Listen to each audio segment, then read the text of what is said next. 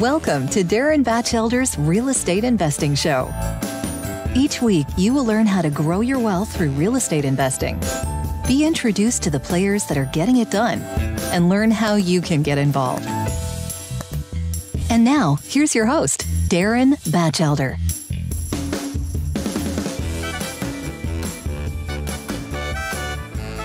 Hello, everyone. Today we have a very special guest. We've got Kurt Jordan. Kurt, appreciate you coming on the show.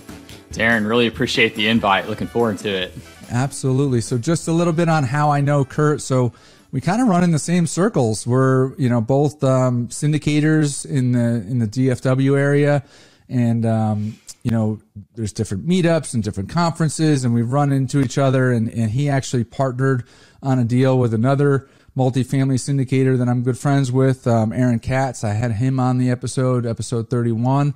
And, um, you know, since then, he's just been crushing it. So I am so looking forward to hearing how he's doing and um, how he's making it happen. So, with that, um, typically, first question How many properties and how many units are you invested in?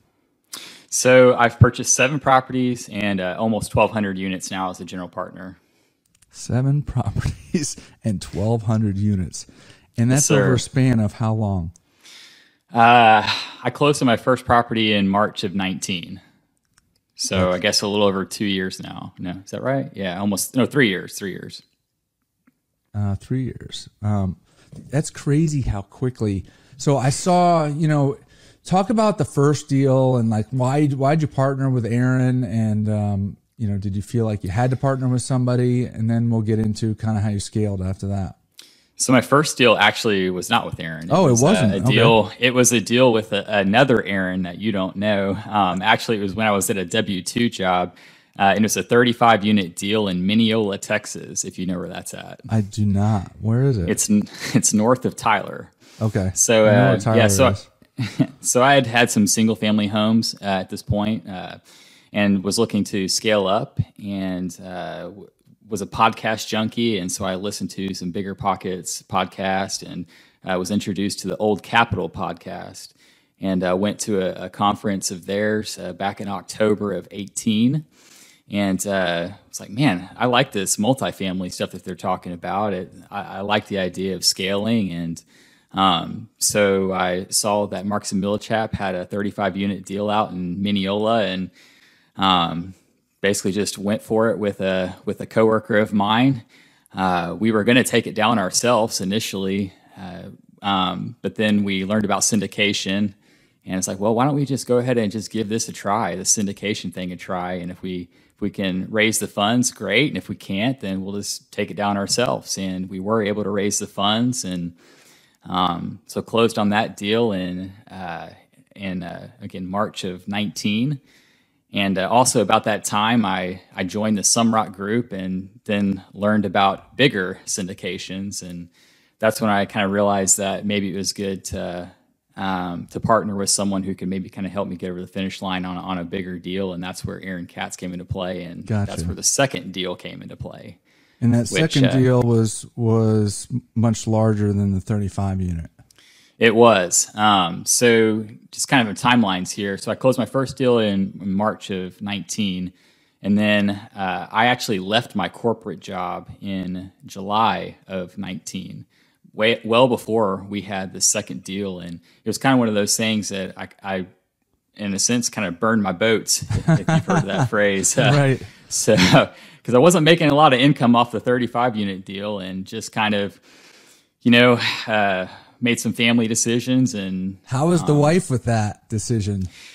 She was my wife is awesome. She supports me awesome. probably uh, too much i could say. It's kind of sometimes it's a little stressful just how much she supports me but it's amazing because i know not not every spouse uh, will would be okay with something like that. But we had money saved up and um, we were ready to kind of make that that next uh, that next change in life. And um, i had always liked real estate and was entrepreneurial and um, so, uh, but yeah, it took us. Uh, we joined the Sumrock Group back in March of 19, and then I didn't actually close on the Avalon Villas deal, that 265 unit deal, until November of 2020. so it actually took us about a year and a half at that point to actually find that that, that first large deal after the 35 unit deal. It took a year and a half to find it. Uh, we entered a contract in June of 2020, so right after the COVID stuff occurred, um, and then it was a several month closing. And but we did, like I said, we didn't close until November of 2020. Wow. So you said a, a number of different things that I think are are really important for you know listeners to understand. One is, uh, well, you didn't use this word, but you you had curiosity that you actually went at, were listening to podcasts, you're looking at Bigger Pockets website, um, and you know for the listeners' benefit, that's a great real estate investing website if you haven't been to it, um, called Bigger Pockets. Um, but then, so you got out there, you know, and then you went to a conference. You went to the Old Capital conference, and you were listening to Old Capital's podcast. Um, you know, you started educating yourself. You started building that curiosity, and then you know what differentiated you from a lot of people though is is you actually took action after that you know where a lot of people they will listen to the podcast they'll read the books they might even go out to some conferences but then pulling the trigger can you know can be scary. How'd you pull the trigger? Uh, so it kind of uh, that's a good question. Uh, you know my job, honestly, my W two, I loved it, and it provided me great opportunities. Uh, I, I, was worked for a tax consulting firm um, and did sales tax there, and uh, uh, managed a pretty good sized team. But you know, I looked at my future at that company and, and saw the uh, time that it was going to require. And I don't don't get me wrong, I don't mind working. I'm gonna work very hard at this particular job, but um, I saw uh, people who are maybe higher up who maybe didn't get to spend as much time with their family. And um, you know for me family was really important. My spouse was really important. And at the time in 2019 i had a, a little over one year old and uh, you know i was i was leaving getting to the office at like six o'clock in the morning. Holy cow. And then and then uh, getting home or leaving the office at five which was you know early to some standards just so i could get home at six and just spend an hour with them before he went to bed right. which you know, if you know, it's, it's it was a cheap hour at that point because you know I'm still kind of decompressing from the day and all that kind of um, all that kind of bit. And so, uh, what kind of got me to pull the trigger was when we did the 35 unit deal. I just again started learning more about syndication and kind of gained some confidence that I could do it. And uh, at that point, again, uh, probably still didn't know what I was getting myself into. Um, but it was one of those things that I was I was uh, ready to to to, to take action there. I, I kind of I wanted to be able to look look back in my life and you know be able to say that I that I that I tried something here. Um, I, I, I didn't want to be you know 20 years down the road and and you know still be so super successful in the W two job, but wonder, hey, what could it have been if I'd have gone out and done something on my own? Oh man, um, that's that's huge. I mean, I can't tell you how many people I I believe that are out there that feel that way you know, that are in jobs that look, granted, there's there are people out there that love what they do and and you know they're climbing the corporate ladder and making great money and and that's great. But I believe there's also a lot of people that they have that itch, they have that you know urge in their belly, but they're just afraid to take action. You know, and but one one thing you said though, you know, and I and I did it too. Was look, you you had some money saved up, you know. Um, that's the part that I think prevents people from being able to take a chance. You know, I back in so I started my I have another company that trades loan portfolios and I started that company in 2007. But 2002 to 2006 I was making great money, you know, as an employee and I just kept socking money away. And I said, after this job, when you know when this kind of gravy train r- runs out, I don't want to ever work for somebody again, right? Hmm. but mm-hmm. I think a lot of people they buy the nicer car, they buy the nicer house, and they, you know, they're actually handcuffed to you know to their bills, and it makes yep. it very difficult to take that chance. So, so you did some planning that you actually saved some money up and you felt like you had a chance to to go after it. That's that's right. And and to be honest with you, even looking back at it now, multifamily is an expensive uh, expensive game to get into. Uh, you know, you learn things along the way, but uh, now if I was to do it again, I would probably have more saved, more money saved up because you know earnest money deposits plus living expenses, and you know for the Avalon Villas deal, I mean we we put down one percent uh, of the purchase price, which was you know three hundred something thousand dollars plus other you know cost, due diligence cost, and you know that's uh that's hefty um, to be sitting in uh, you know at, at title uh, for you know at that time it was three months, and again I told you we we went a year and a half without uh, before we closed on that deal. So basically, I had to have we were living off of a you know, a year and a half of our savings and had all that money tied up at title. Um, it's tough. yeah, and I I think that um, so I'm I passively invest and I'm also a general partner and and you probably have done the same. Um, people that have just passively invested or are looking to passively invest for the first time, I don't think that they realize you know the you know the risk that the sponsor takes on the deal. You know they look at it like they just want my money to be part of this deal, um, but you know, sponsors aren't going to get into a contract on a deal that they don't feel confident that they they can make a good return on because or that they can raise the capital for because like you said, I mean, you had hard money of 300k. Then there's yes, yeah. you know, the mm-hmm. application fee for the lender, there's the uh, inspection fee, appraisal fees. So all of that is fronted by sponsors. And then when the deal closes 60 days or 90 days or 120 days later, you know, you're you're refunded for that, but you're out of pocket and if the deal doesn't close, you're at risk. That's right. That's right. So it's uh, it was a little stressful, and again, going back to just talking about how awesome my wife was, and you know, she was support, su- really supportive of this whole situation because, again, you know, it was uh, you know, it was tight. It was tight there for the first year and a half. You know, people. What did she say that was supportive? um, she just believed in me. I mean, she believed that we were going to get through it, and you know, um, and then also too, we look back to our faith. Uh, you know, and, in God in, in this situation. I mean, before we made this move, there was many prayers that went up and uh, said, is this, is this a move that we need to make here? And we felt confident that it, that it was uh, just kind of based on some guidance that we felt like we received. And, and we were, even though it was really stressful, we were still at peace with the whole situation. And um, we knew that we were going to get taken care of in, in whatever situation that we ended up in. And because um, what our faith, you know, says that we will be will be taken care of in some capacity. So even if we went bankrupt, uh, we knew that we would still have food in some some way. We would still find housing in some way. We would still be taken care of in some way. Um, and that kind of gave us some peace to the situation, and it continues to give us peace now. Even that, that's huge. I, I got like chills when you were saying that, you know, because look, I mean, it especially the first deal or two can be very stressful and mm-hmm. you know, if you can lean on something, you know, like your faith to to give you peace during a very challenging time, um, that that's huge.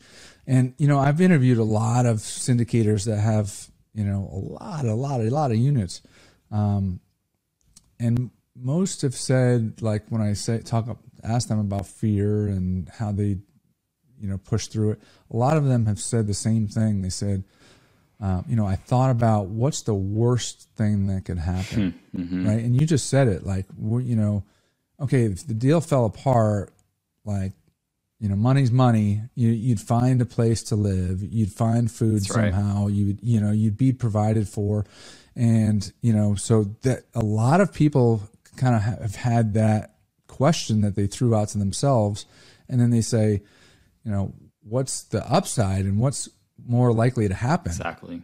And yep.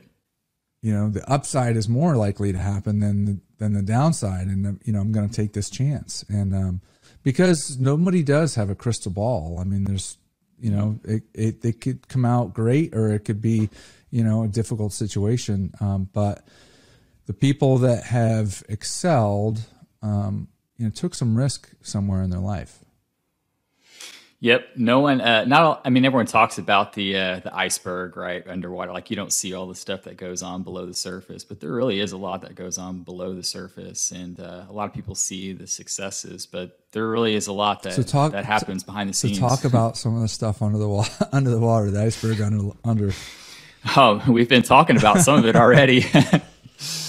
uh, it's hard. Um, it's hard to find deals. It's hard to raise money. It's hard to you know get deals over the finish line. Um, I mean, it's all hard. Uh, it's a roller coaster ride. Entrepreneurship is a roller coaster ride. There's it even within the same day. You can have such highs in certain some days, and then the, that same day you can have massive lows. It's it's incredible. It's it's uh, it's a tough game.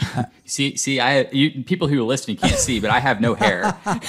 but here, uh, well, funny story on that. I went to get my license renewed, and the, and the lady said, "You know what? What color hair do you want me to put down?" And I'm like, "Well, it's either brown or gray." And and I said, "Well, if you ask me, it's brown. If you ask my kids, it's white." And and and she said. I would put down gray, and I'm like, I can't do it. Put down brown. That's funny. Yeah. So. Yep. Yeah. So anyway, I mean, like we're still young at heart, right? Our, in our minds. Right. That's right. That's right. Um, but it is hard, you know. But the thing to, and I want to get your take on this, is that mm-hmm. what you thought was hard in the first deal is different in the seventh deal.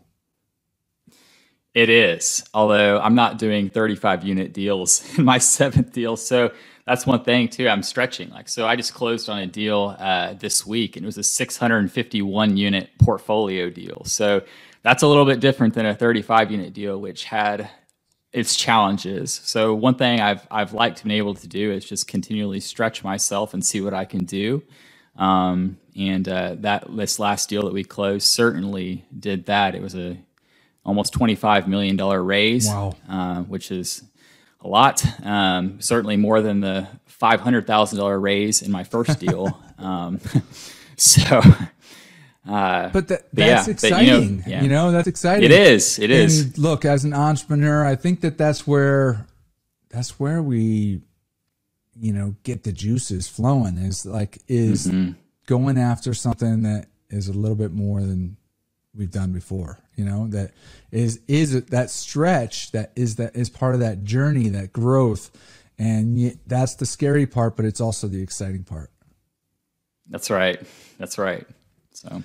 Well good for you that you have a wife that's um you know supportive because you know it, it, it can be challenging. And if you if you have a spouse that isn't completely on board that just would add to pressure and the stress and everything else associated with it. So you close on the first deal, and then the second deal you go bigger. Um, at that point, you decide that you you want to scale, right, and you want to do more deals. So talk to us yep. about that.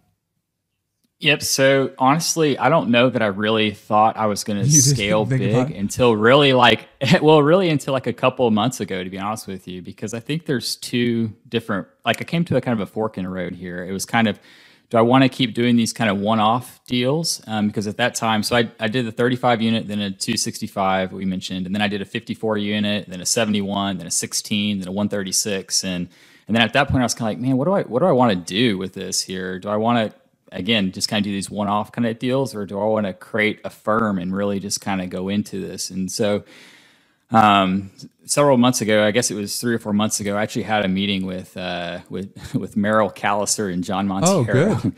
and uh, and those guys basically uh, to their credit they they looked at me and it's like man what do you what do you want to do? And um, it's like well i don't know. I think i want to keep building this out. And they're like well, how many people do you have working for you? And I'm like, well, none. And John was like, well, you're, it's like, you're prohibiting yourself from growing. He's like, you're the bottleneck in this thing.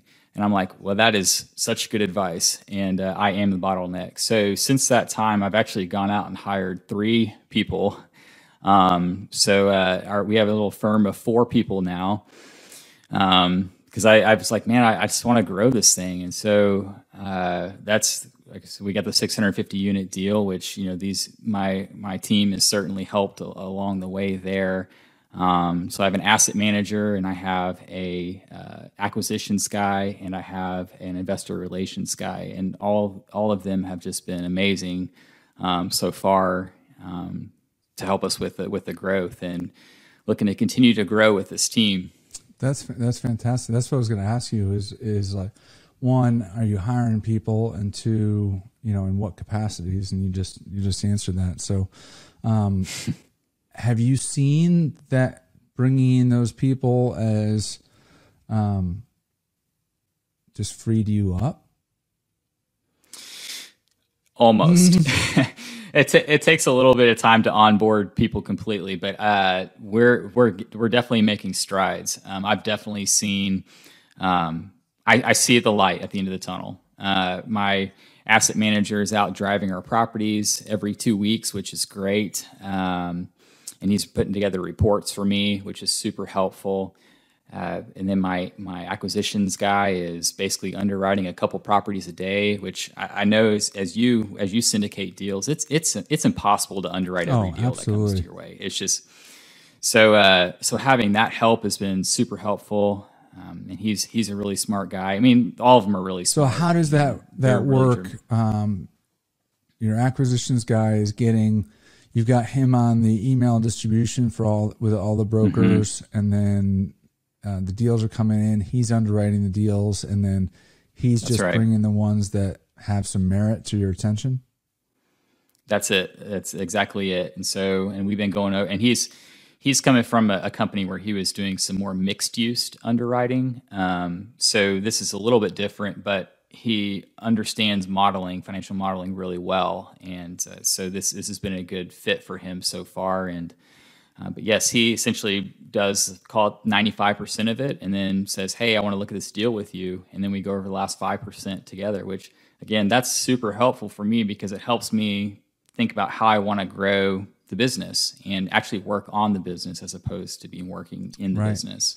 And you said that um, you know you you thought about it and then you made a conscious choice to build the company like and i think that's important because some people may just say look i'm, I'm busy i need to hire somebody but like you have to actually understand whether you want to build a company because when you hire that person you said it you're you said almost um, that person is that's doing the acquisition stuff like they have their thoughts on how to you know, maybe underwrite, but you have your own way, right? And and so you mm-hmm. whenever you hire somebody, you have to spend time with them to teach them, you know, and teach them the way that you want it done.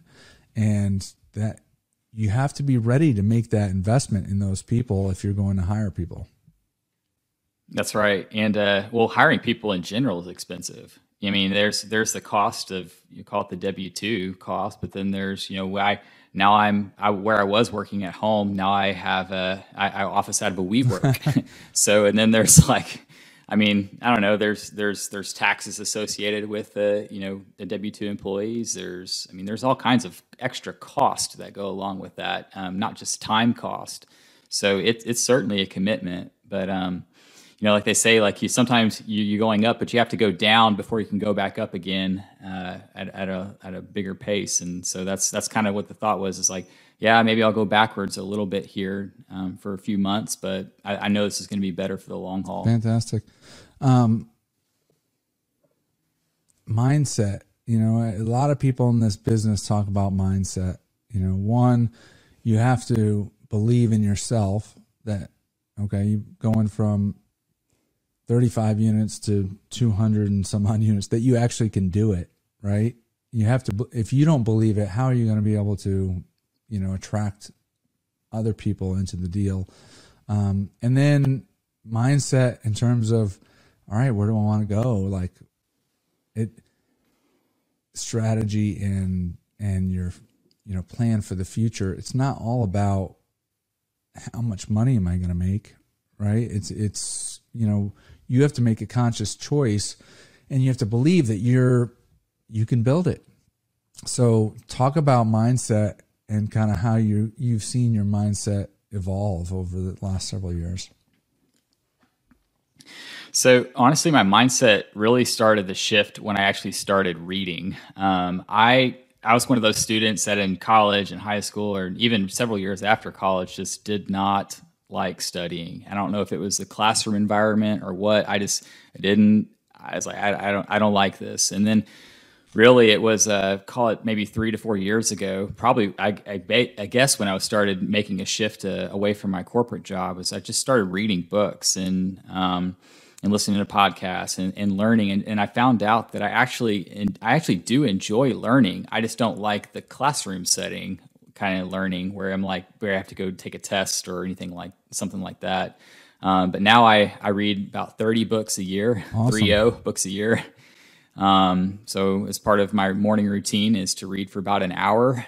Uh, so whether it's a, a, just any kind of personal development or business book, um, so that's that's part of my routine now, and uh, I, I think that's really kind of helped shift my mindset a lot. Um, I know one of your guests just recently, DeMarco, yes. uh, that was uh, it was one of his books that I actually read that book like right before I actually left my Millionaire Fastlane book. Yeah, yeah, that was a great book. Right. And actually, your your business partner Aaron Katz, he he was the one that yeah. um, you know he put that out on Facebook, and I I went and got it for for vacation. But I think like what you're saying, I completely agree, and I I try to tell my kids because you know school kind of is a bummer. Like you know all the all the way mm-hmm. through high school and even college, like you have to sign up for these classes and you have to you ha- you're you're told what you have to read and what you have to learn and you have to take tests on it but it becomes different when you're an adult and like you get to choose what you what you want to read and what you want to learn about right and right that's when like i'm like you i love to learn but i want to learn what i want to learn I don't want to be told. That's right. That's like, right. You have to be here at this time and you have to learn this and there's that's a right. test. You know, I want to learn because I'm interested in it. And that's what's great about yep. life is that there's like so many different avenues to go um, and learn. But, um, you know, there, you know, we talked about it early on, but, you know, there's reading and there's learning. And then at some point you got to take action or else you know that learning just kind of stays in your brain, but you don't benefit from it. Yeah, um, financially yep. at least. Uh, yep, that's a. Uh, don't know. Maybe I'm just crazy. I'm not sure. maybe a little bit of success kind of helps me take the next step. I'm not sure. Um, and I, another thing that's probably helped me along the way too is is my dad was an entrepreneur as well. Which you know, growing up, I know they talk about nature versus nurture and whatnot, but um, I I think that probably helped me a lot too. He had a he had a business and then he sold a business when he was in his early 40s, started another business and sold it when he was in his late 40s and basically retired at that point. And you know, from a, from an entrepreneur an entrepreneurial standpoint, um, you know, he one thing I really admired about him was that he was always there for us uh, as a family. Like, you know, he he could go to our soccer games and, and go to the school stuff and whatnot. And, and I really think a lot of that was attributed to the fact that he had his own business. And so it, to me, it just kind of gave me um, encouragement, I guess, or uh, to, to, to, do the same thing. And because I, I wanted to be there for my family, want to be there for my family. And, uh, and I just think that this job uh, affords that to me. And um, that's so, yeah. huge. And the other thing is that like you're building a company just like your dad like he he built a company and then when for whatever reason maybe he just wanted to be in something else or maybe the price was right but when you build a company you can actually you're building an asset that you can actually sell you know so so you're mm-hmm. building value that you can actually sell when you're in a w2 job the minute you leave you don't get paid anything. Right? You could be you could be with a That's company right. for 10 years. They don't hand you a check when you leave. They're like you know, they're you Right, Not usually. Right. I mean, look, there are some parachute, you know, yeah, big, big sure, CEO sure. parachute packages and stuff. But, um, you know, in general, the employee is going to walk away and they're not, they're not going to make any more money until they go work for somebody else. Um, so I think that that's huge that you're able to build value and then sell it. And usually, as you're growing that business, the value of that is continuing to increase over time. Um, and you're doing that with the with the multifamily business. The other thing you said was a little success helps. And you know, and it may sound silly, but you know, I tell my kids that I'm like, look, think about like one time that like you did something that you were proud that you did and you were you were scared and you did it anyway and you and you were happy you did it. Like you can look back on those things in your mind and help you the next time you're scared. Look, I took a chance before. You know, and maybe, you know, the chances that you took are bigger than maybe some other people that are listening, right? You know, you you went and did a 35 unit property. Look, for a lot of people that that is mind-blowing in itself. And then you went from a 35 unit mm-hmm. to a mm-hmm. 200 and something unit. Um, and and now you just did a 651 unit. But all those little incremental steps give you confidence, you know, to go after the next one. That's right. Yeah. I mean, I if you'd have told me three years ago I was going to be buying a 651 unit portfolio deal, I would have. Yeah, it's. I wouldn't have believed it. It's not. Or even, that you're going to like hire three sense. people and build build a company. I know. you know, I mean. I know, I know. Just it's it's unreal. Just kind of look back five years ago and, and know where I was and and kind of look where I'm at now, and it's just it's just not it's not comprehensible. I just I can't even well, comprehend. One, it. congratulations. Um, oh, look, I asked you on here because, like, I think that's very inspirational to people. I mean, um, I, you know, look, I, I want to build wealth for my family and for ourselves, um, but I also want to inspire people. You know, like life is pretty short, and and the people that I've interviewed that have taken some chances, they don't they don't always work out the first time. You know, um, but they're happy that they did it and then they pivoted into something else or you know took a, a second chance or third chance and that's you know from a listener's perspective what i would highly recommend is that if you have that itch in your gut you know whether it's real estate investing or starting a business or whatever like you gotta plan you know save up some money do it at night do it on the weekends do something to give yourself a chance. You know, don't have gr- regrets later in life. Yep, yep. I would say uh, one a couple things that again that helped me. We kind of touched on a little bit is that I actually wrote out what was the worst thing that could happen. Um, because it, when you start thinking about like what's the worst that can happen, um, a lot of the thing it, it's it's scary when you don't actually. It's scary in any situation, but it's it's it's more scary when you don't actually think about it through. Like when you just think, oh, what if I leave my job? I'm not gonna be able to do this because I because of whatever. But uh, when you actually start writing out like what's the worst that can happen, I think it it for me at least it took a lot of the fear away.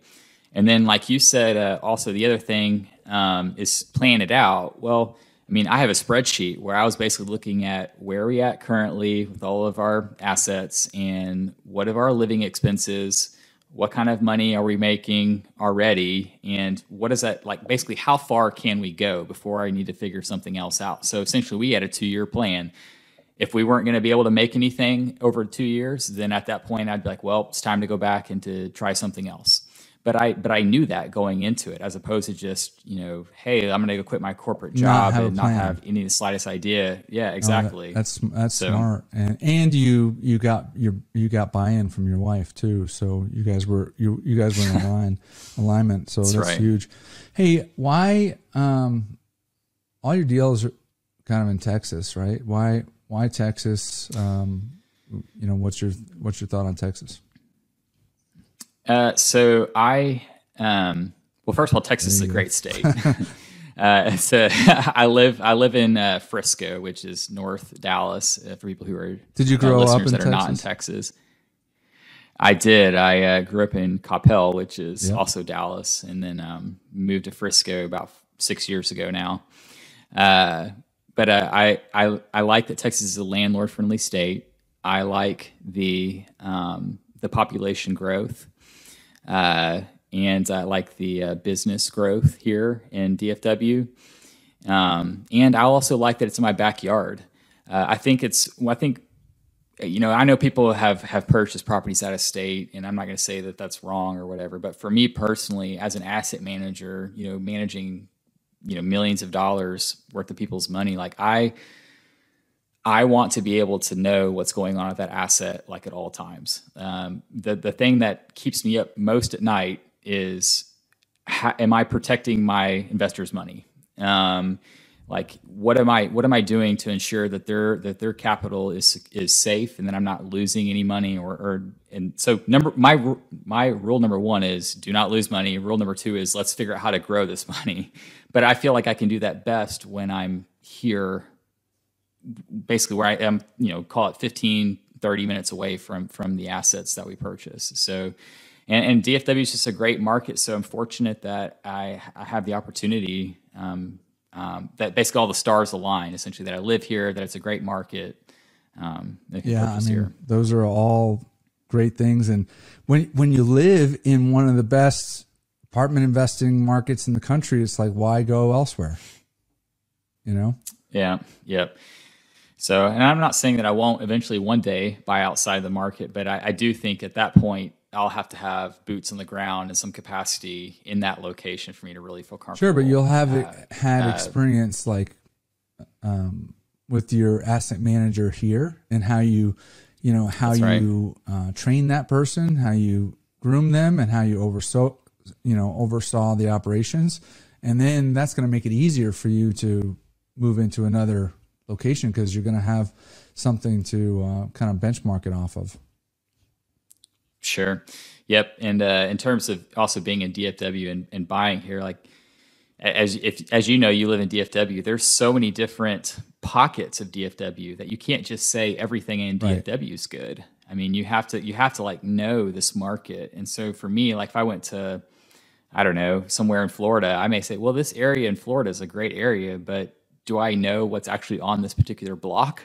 Probably, probably not. not. So but I think that I like what being, you would overcome, yeah. how you would overcome it is one, you have, you know, several years experience now on how you look at different, you know, markets. Sure. Um, and then two, you know, you, you built broker relationships where you probably could leverage those, um, you know, to, they give you a contact that they trust in that market and then you know there's some rub off of of that trust level and and you still have to you know get your comfort zone but they could probably point you in the right direction saying hey look this is the part of town you want to be in. This is the part of town you don't want to be in.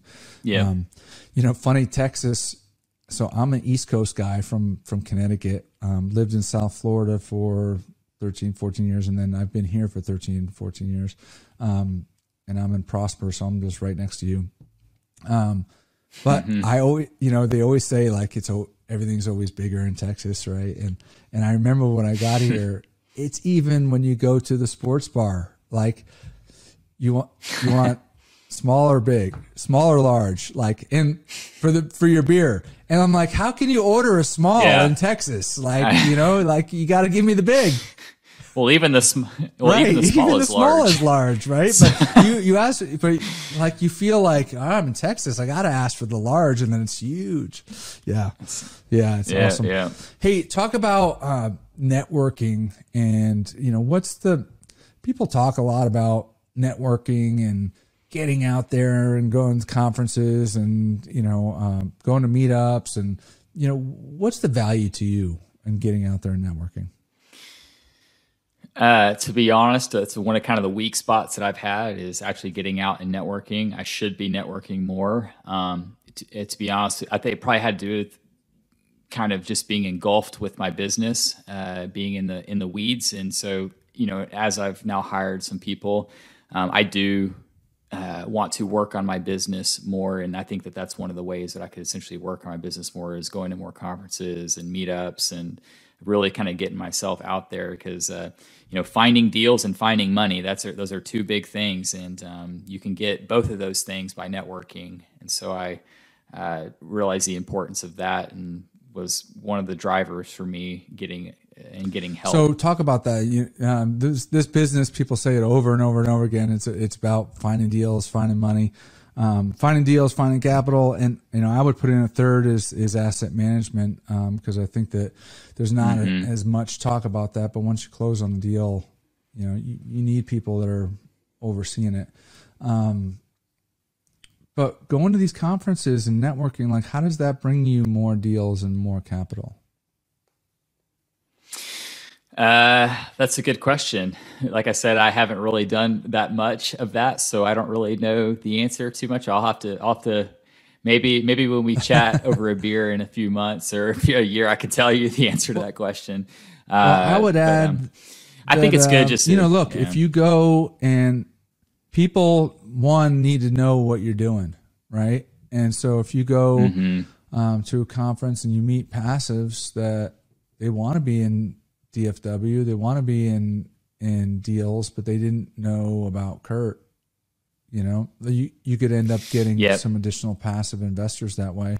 Um, sec- secondly, for sure, you know, I think the experienced folks, like most of these deals, have you know partnerships that are formed, and it could be you know two two people, it could be three. I mean, some of these larger deals could be five, six, seven, like, and so people that go out and know that other people are interested in partnering and may not want to do you know be the lead person um, get a smaller piece of the deal but you know be a, be a part of it um, those people are out there and getting out there and meeting them as well can be beneficial for sure, for sure. Um, I, I, definitely see those things and uh, what you're talking about there. And I just honestly, I just need to get out and do it more. Um, it's it's worked well, not so much being doing that as much, but uh, yeah, and, I mean, there's look, still ways that I try to promote my brand. Million. Like, how'd you do that? where'd you Where'd you find all the people to invest with you, my man? Uh, it's been years of building relationships. It's been years of building relationships even before I started multifamily, to be honest with you. Um, you know, people invest with people who they know, like, and trust. And um, that's, uh, you know, we've, it's, it's a lot of it's relationships, again, before I started multifamily.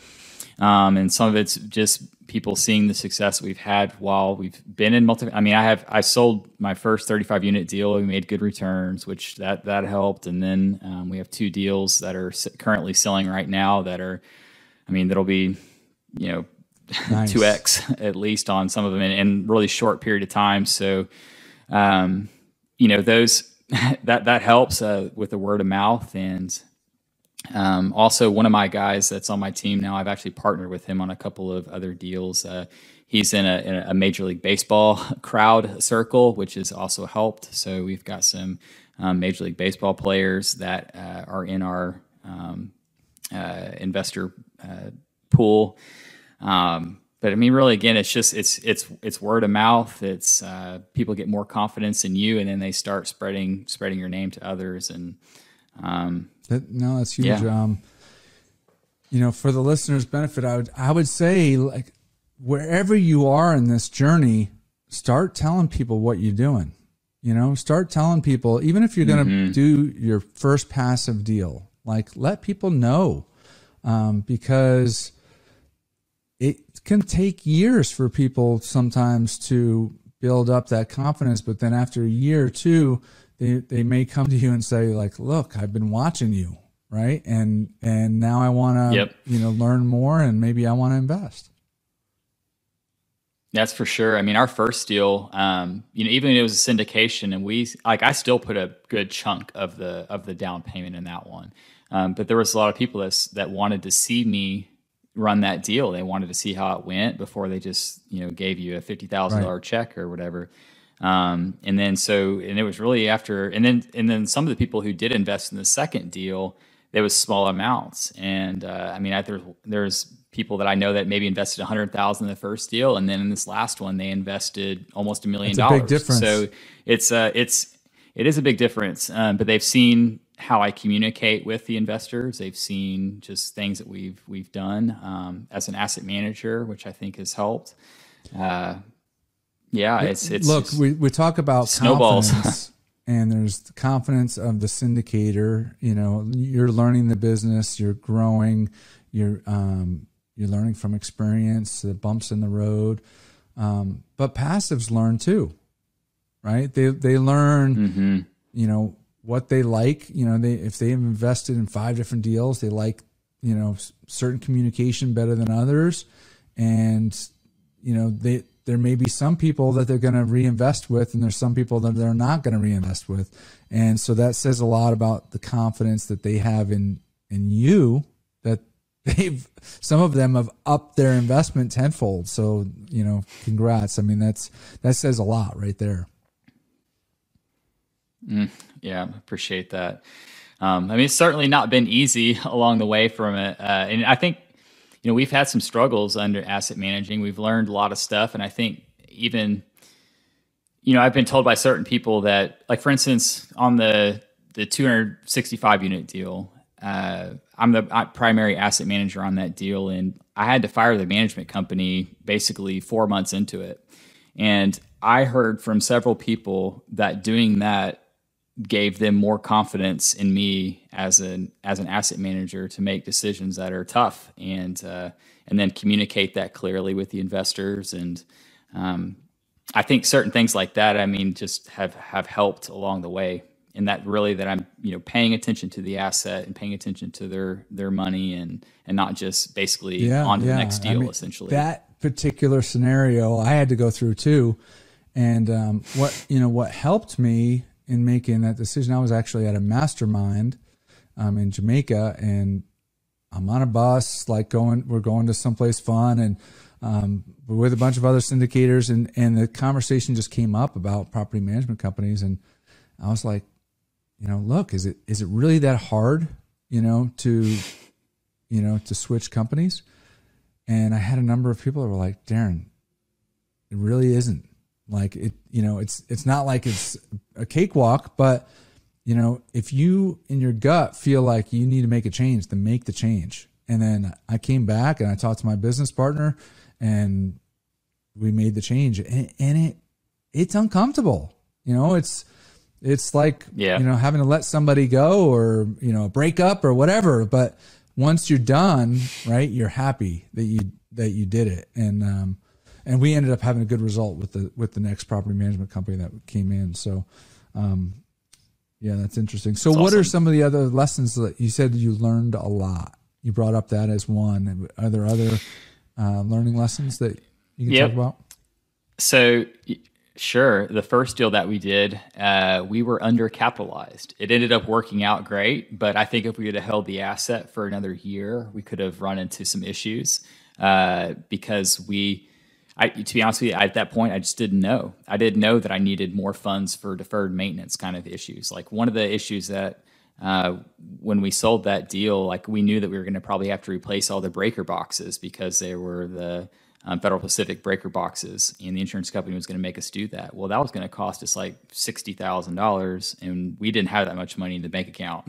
so uh, we there's just uh, we ended up selling the deal before and still made 70% return in less than two years, which is great for our, for our investors. And, um, but, uh, that was a lesson I learned. Like, I will not be undercapitalized to get another deal. I will overraise if I have to, and it may affect the returns a little bit, but it is way more important to have money in the bank um, than than to, to basically stretch yourself um, in that regard. So, so having enough money in the bank is is important. Not being undercapitalized.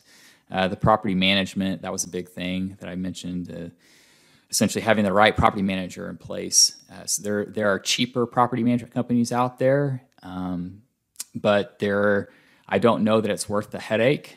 Uh, I think it's, it's, it's to me, it's better to have a a, a, a professional, a, maybe a more expensive property management company out there that's going to get the job done because they're going to add value in ways that you may not be thinking yeah, about. absolutely. Like I'm a believer um, in having high quality people um, involved. I mean, even the, with the podcast, I have a consultant that I know I could find somebody cheaper, but he's provided so much value in terms of like, hey, Darin, you should look into this software application and like if i was to research it myself it would have taken me hours and hours and hours or like you should think consider doing this or that and that's value right? You know they see success from other people mm-hmm. and then they share that. So property management companies see success at other properties and then they share it with with your property. Um, that's huge. Um, so undercapitalized that that was one. Um, I wanted to ask you about financing because so I have another mm-hmm. business. Mm-hmm. I've been in kind of in the loan trading business um, portfolios between banks since 2002 and started my own company in 2007. Um, during the Great Recession, to whatever you want to call it, 2008, 2010, where I saw commercial deals go bad, have trouble, were when the loan came due in a terrible economy. So, you know, these for the listeners' benefit, you know, these multifamily deals all have some kind of balloon feature. You don't you can't get a 30-year fixed rate mortgage. And so there's sure. there's at there's some point the loan's going to come due and you either have to sell the property before that or you have to refinance. And the last like year and a half has really been a bridge loan financing market, you know, three years plus two one year extensions, a lot, a lot of deals. Um, and, mm-hmm. you know, as long as you, you are able to do the renovations and improve the property in that time frame, everybody's golden. But at some point, you know, it's musical chairs stops, and then somebody's you know holding a, a deal where their their bridge loan is coming mm-hmm. due in six months, and all of a sudden now the economy's tanked, unemployment's up, cap rates are up, cash flows down, valuations are down. Like, at, you know, so what's your take on financing? So our last two deals do have bridge debt on them. Um, it's not my favorite but it's kind of the like you said, it's kind of the environment that we're in right now. Um, I am, I'm, I'm always my ears are always on the ground for other options, but that's just kind of what there's out there, what what's out there right now. So, but but with that being said, uh, because we have these, I mean, we're doing things. We're trying to find ways to basically mitigate that, make risk. it less risky. Uh, mitigating the risk, like again, being overcapitalized, uh, if I can help it. Um, and then you, know, obviously it's it's three years, and then the the two one year extensions. And and my my plan is not. So I know some people underwrite and they basically show their projections as if they were to refi in year three and then call it a five year hold. I'm not actually going to my investors and saying these are five year holds. I'm saying these are three year holds. And then I anticipate trying to exit the gotcha. deal in two years. So that gives me a back, basically, it gives, so if year two comes along right. and the market's in shambles, well, then at least I have a year to figure something out before that first extension. And even then, there's two, right. basically two extensions there. So I, I, I, my plan on these bridge, these specific uh, two deals with bridge debt is to be out of these. So you get a shorter years. term focus um, on those, and then you, you also overcapitalize to, you know, mitigate some of that risk when I, when I asked uh, Michael Becker, who's a, you know I'm sure you know who he is, but for listeners' benefit, mm-hmm. he's mm-hmm. you know very very big um, syndicator in the Texas market, and you know he said that when he when he has shorter duration loans, he will have less leverage on the deal to mitigate that risk. So instead of doing a 75 or 80 LTV, maybe he's doing a 65 or 70 LTV on that. Again just to have a little additional buffer.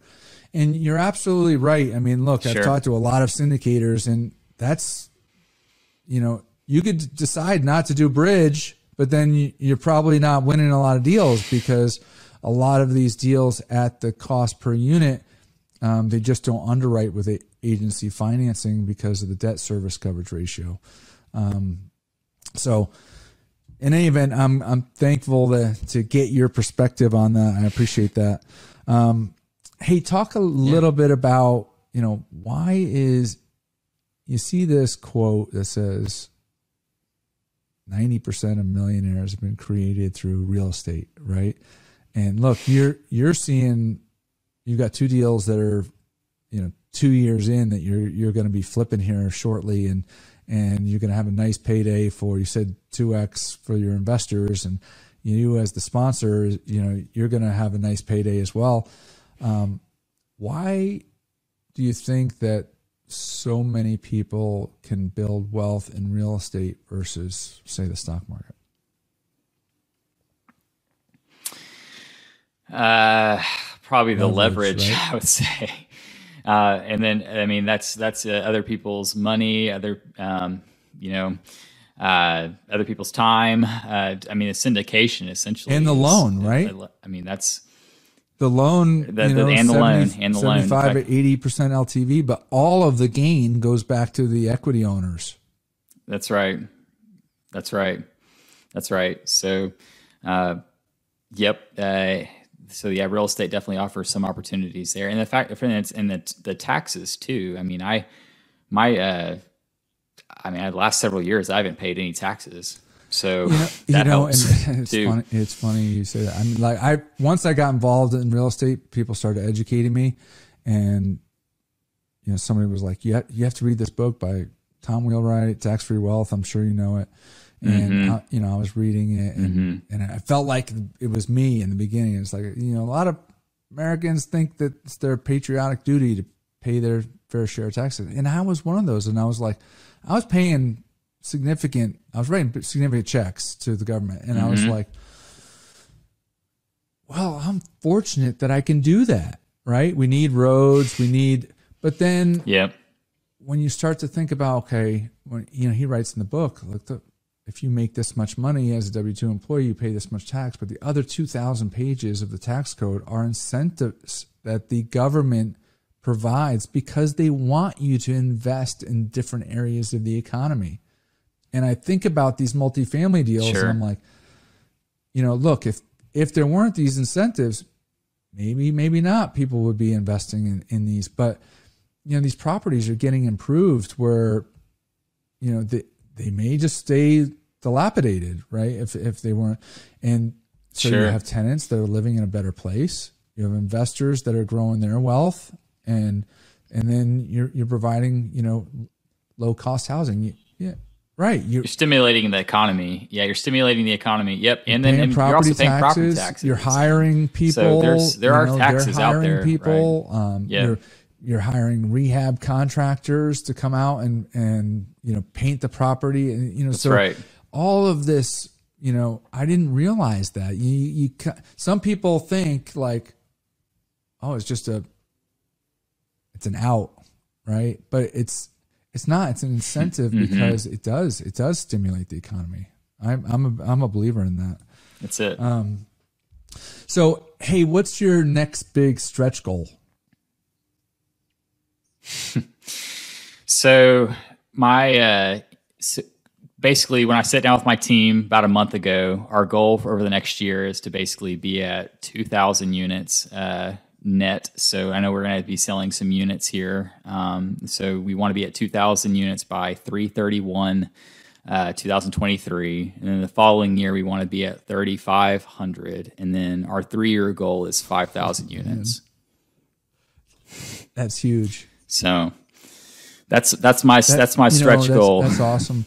Um, you know, for listeners, if you don't plan, if you don't have goals, if you don't write them down, if you don't have a vision board, if you don't like, I would highly encourage you to do that because if you don't do it, oh, yes. you're most likely not going to get to where you want to be. Yep, I completely agree with that. I, uh, in fact, you can't see it, but on the other side of your screen here, I have a whiteboard that basically has my top 10 goals for the year. And there's there's basically some faith goals. No, no I'm, I'm, forgive me if I'm looking up there, but now there's there's yeah there's faith goals and there's goals with my wife. Um, there's goals with my kids. There's income goals, personal net worth goals. There's reading goals. There's business goals. There's health goals. There's fund goals, um, and then there's basically some some other uh, charitable goals on there. So, and then I have at my WeWork office, we have a whiteboard up there, and that's when I was telling you about our stretch goals. They're they're listed on that whiteboard as well. And I'm like you, I, I have to see them. Um, it keeps me re, um, reminded of these things. In fact, my whiteboard here uh, at my office here.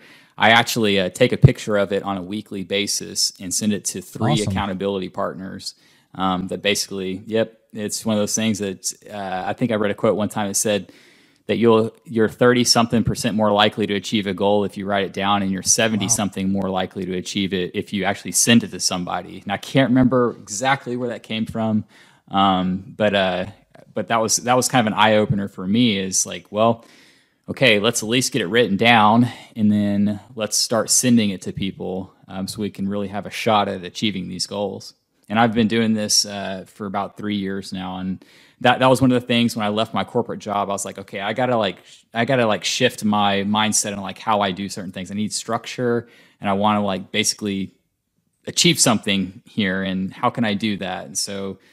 I mean, I really can't remember where the whiteboard idea came from, but uh, it was in one of the books that I read, and I was like, "That's a great idea." And I had a space on my wall back here, and and since I worked from home at the time, I was like, "Well, I'm going to be looking at this whiteboard right basically all day long. So my goals are going to be on my mind all day long. And I don't know um, if this really has happened me, to you, but you know, like you, there's something I think about having an image too that like even when you're not in that room, you might be like laying down in bed or mm-hmm. even you might even dream about it. Like, but your mind is working on those achieving those goals. Like, but if you don't if you don't write mm-hmm. it down, then there's no way it's going to happen there, I had a guy on one time, and he said he was doing multifamily investing, and he said, uh, "Okay, my goals were, I'm going to buy a duplex this year, and then next year I'm going to buy, you know, four units, and next year I'm going to buy eight units, and then 16, and then 32."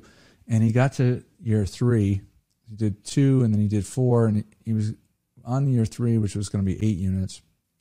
And he said, "What if I just change this goal?" And I said, "What'd you change it to?"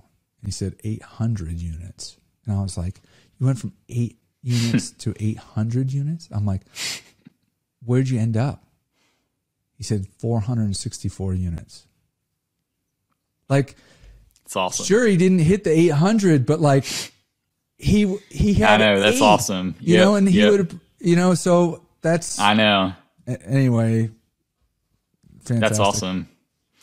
Yep. No, I I I agree with that. Uh, yeah, set the goals high, and um, if you can't achieve them, it's all right. I mean, you'll probably still get way higher than what you would have if you didn't. I, you know, I've never so, heard that. Uh, um, uh, yeah, thirty percent, seventy percent thing, but I believe it. You know, I I believe it. I um, mm-hmm. I'm in the process of writing a book, which is uncomfortable. It's new. It's you know, and I hired somebody to help me. um, but at the very end of it, I say like, all right, look, I'm telling you in the book, like to take action and to be accountable. And I said, here's three things that I don't haven't done before, but like I'm putting it in the book so that I'm accountable.